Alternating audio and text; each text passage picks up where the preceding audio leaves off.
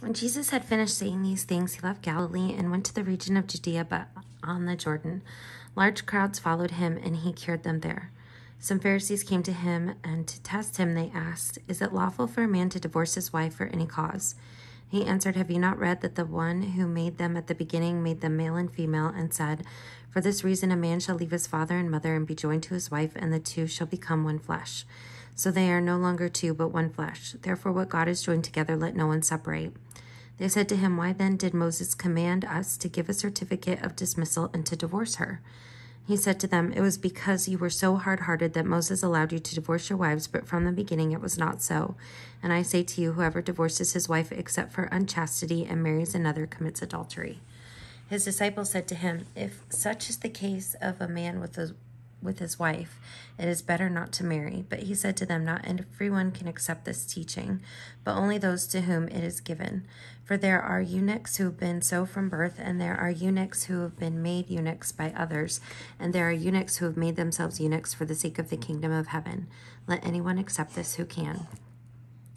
Then little children were being brought to him in order that he might lay hands on them and pray. The disciples spoke sternly to those who brought them, but Jesus said, Let the little children come to me, and do not stop them, for it is to such as these that the kingdom of heaven belongs. And he laid his hands on them and went on his way. Then someone came to him and said, Teacher, what good deed must I do to have eternal life? And he said to him, Why do you ask me about what is good? There is only one who is good. If you wish to enter into life, keep the commandments. He said to him, Which ones? And Jesus said, You shall not murder, you shall not commit adultery, you shall not steal, you shall not bear false witness. Honor your father and your mother, also you shall love your neighbor as yourself. The young men said to him, I have kept all these, what do I still lack? Jesus said to him, If you wish to if you wish to be perfect, go, sell your possessions and give the money to the poor, and you will have treasure in heaven. Then come, follow me. When the young man heard this word, he went away grieving, for he had many possessions. Then Jesus said to his disciples, Truly I tell you, it will be hard for a rich person to enter the kingdom of heaven. Again, I tell you, it is easier for a camel to go through the eye of a needle than for someone who is rich to enter the kingdom of heaven. When the disciples heard this, they were greatly astounded and said, Then who can be saved? But Jesus looked at them and said, For mortals it is impossible, but for God all things are possible. Then Peter said in reply, Look, we have left everything and followed you. What then will we have? Jesus said to them, Truly I tell you, at the renewal of all things, when the Son of Man is seated on the throne of his glory, you who have followed me will also sit on twelve thrones, judging the twelve tribes of Israel. And everyone who has left houses, or brothers, or sisters, or father, or mother, or children, or fields, for my name's sake, will receive a hundredfold, and will inherit eternal life. But many who are first will be last, and the last will be first. For the kingdom of heaven is like a landowner who went out early in the morning to hire laborers for his vineyard. After agreeing with the laborers for the usual daily wage, he sent them into his vineyard. When he went out about nine o'clock, he saw others standing idle in the marketplace. And he said to them, You also go into the vineyard, and I will pay you whatever is right. So they went. When he went out again about noon and about three o'clock, he did the same. And about five o'clock, he went out and found others standing around. He said to them, Why are you standing here idle all day? They said to him, Because no one has hired us. He said to them, You also go into the vineyard. When evening came, the owner of the vineyard said to his manager, Call the laborers and give them their pay, beginning with the last and then going to the first. When those hired about five o'clock came, each of them received the usual daily wage. Now, when the first came, they thought they would receive more, but each of them also received the usual daily wage.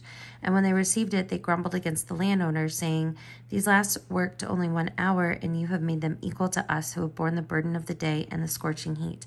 But he replied to one of them, Friend, I am doing you no wrong. Did you not agree with me for the usual daily wage? Take what belongs to you and go. I choose to give to the last the same as I give to you. Am I not allowed to do what I chose with what belongs to me? Are you or are you so envious because I am generous? So the last will be first and the first will be last. While Jesus was going up to Jerusalem, he took the twelve disciples aside by themselves and said to them on the way, See, we are going up to Jerusalem, and the Son of Man will be handed over to the chief priests and the scribes, and they will condemn him to death.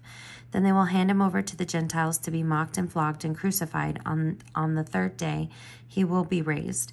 Then the mother of the sons of Zebedee came to him with her sons, and kneeling before him, she asked a favor of him.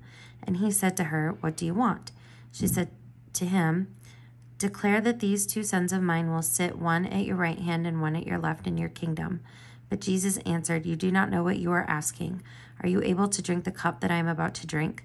They said to him, We are able. He said to them, You will indeed drink my cup, but to sit at my right hand and at my left, that is not mine to grant, but it is for those whom it has been prepared by my Father. When the ten heard it, they were angry with the two brothers, but Jesus said, Called to them, called them to him and said, you know that the rulers of the Gentiles lord it over them, and their great ones are tyrants over them. It will not be so among you, and whoever wishes to be great among you must be your servant, and whoever wishes to be first among you must be your slave, just as the Son of Man came not to be served, but to serve, and to give his life a ransom for many. As they were leaving Jericho, a large crowd followed him. There were two blind men sitting by the roadside. When they heard that Jesus was passing by, they shouted, Lord, have mercy on us, son of David. The crowd sternly ordered them to be quiet, but they shouted even more loudly, Have mercy on us, Lord, son of David. Jesus stood still and called them, saying, Why do you what do you want me to do for you? They said to him, Lord, let our eyes be opened. Moved with compassion, Jesus touched their eyes. Immediately they regained their sight and followed him.